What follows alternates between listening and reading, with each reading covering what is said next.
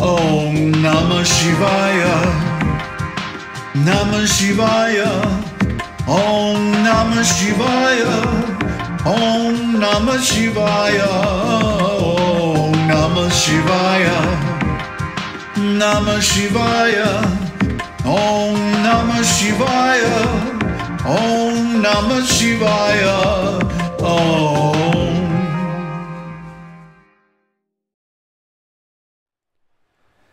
Suta said, O saintly men, the question that you put to me is very pertinent. Prompted by my love toward you all, and remembering my preceptor Vyasa, the benefactor of the three worlds, I shall tell you everything. All of you listen attentively. The entire essence of Vedanta is contained in the excellent Shiva Purana. It dispels all sins. It affords the attainment of the highest truth, Brahman. O Brahmanas, the great glory of Shiva that destroys the sins of the Kali age unfolds itself in the Shiva Purana and yields the fruits of Dharma, Artha, Kama, and Moksha. By the single minded study of that most excellent Shiva Purana, excellent Brahmanas attain salvation. It is only as long as the Shiva Purana has not risen high in the world that Brahmahatya, the sin of slaying a Brahmana, and other terrible sins display themselves. It is only as long as the Shiva Purana has not risen high in the world that the evil portents of Kali fearlessly roam about. It is only as long as the Shiva Purana has not risen high in the world that the different sacred texts clash together in disputation. It is difficult even for great men to comprehend Shiva's features as long as the Shiva Purana has not risen high in the world. The cruel attendants of Yama roll about fearlessly as long as the Shiva Purana has not risen high in the world. All the other Puranas roar loudly on the earth as long as the Shiva Purana has not risen high in the world. All the holy centers enter into mutual wrangles and disputes on the earth as long as the Shiva Purana has not risen high in the world. All the mantras rejoice in mutual disputes as long as the Shiva Purana has not risen high in the world. All the places of pilgrimage engage in mutual disputes as long as the Shiva Purana has not risen high in the world. All the altars and pedestals of the gods engage in mutual disputes as long as the Shiva Purana has not risen high in the world. All the gifts engage themselves in disputes as long as the Shiva Purana has not risen high in the world. All the gods engage themselves in mutual disputes as long as the Shiva Purana has not risen high in the world. All the philosophical tenets engage themselves in mutual disputes as long as the Shiva Purana has not risen high in the world. O foremost among Brahminical sages, I cannot adequately describe the fruit accruing from reciting and listening to this Shiva Purana.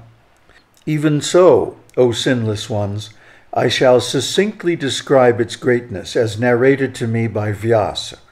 Please listen attentively. He who reads a single stanza, or even half of it, piously, becomes free from sin instantaneously.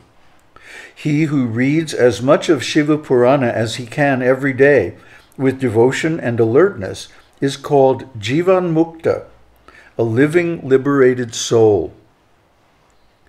He who continues to worship the Shiva Purana daily undoubtedly derives the fruit of the horse sacrifice.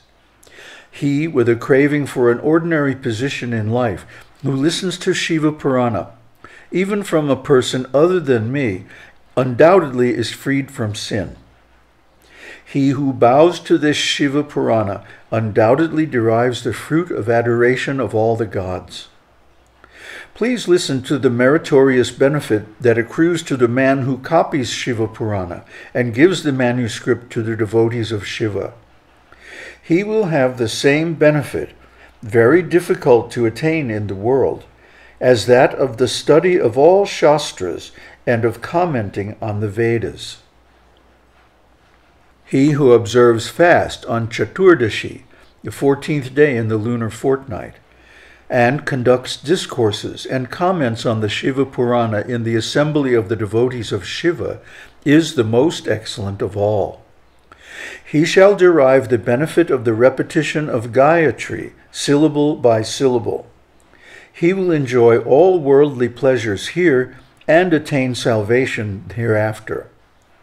I shall tell you the benefit derived by him who reads or listens to this after observing fast on Chaturdashi by keeping awake in the night. This is the truth, undoubtedly the truth. He will get the benefit derived by the man who makes gifts of gold equal in weight to himself to the Brahmanas, with Vyasa at their head, at the total eclipse of the sun in all the holy centers like Kurukshetra, etc., many times.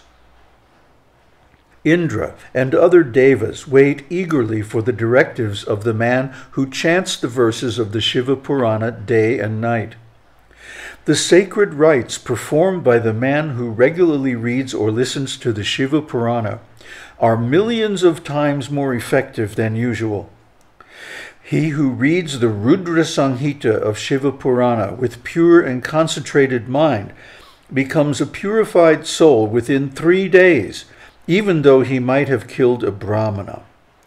He who reads the Rudra Samhita three times in a day near the image of Bhairava, refraining from useless talk, shall get all cherished desires fulfilled.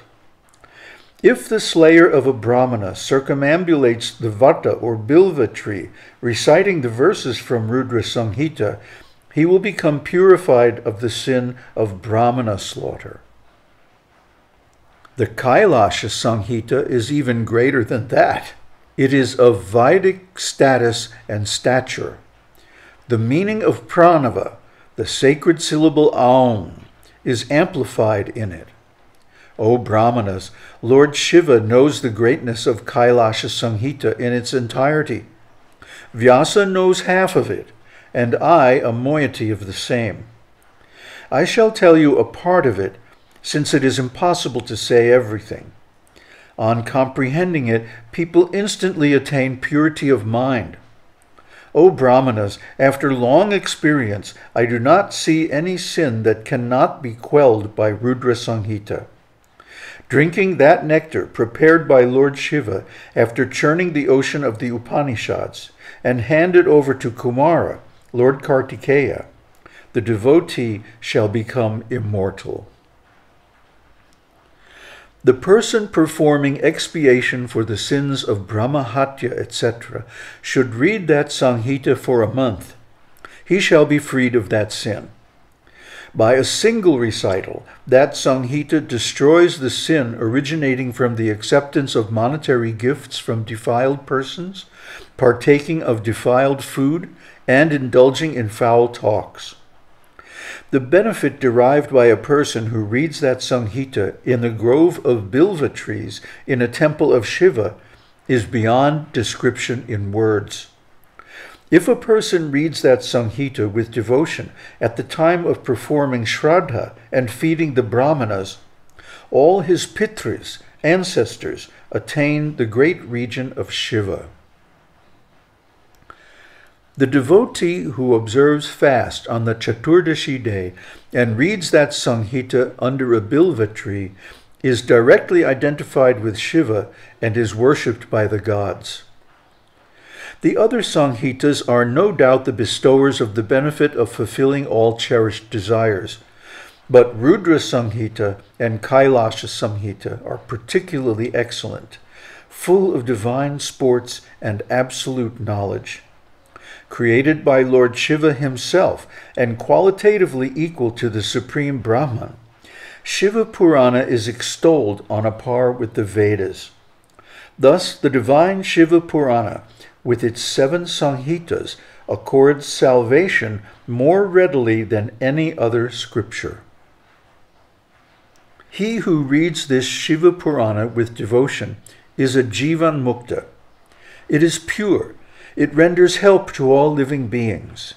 It is the unrivaled queller of the threefold calamities. It bestows welfare upon the good. It is of the nature of Vedanta. It contains mantras and bestows liberation. It is knowable by wise men of unprejudiced mind.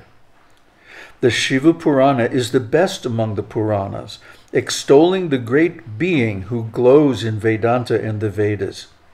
He who reads and listens to it with devotion becomes a favorite of Shiva and attains the supreme position here and hereafter.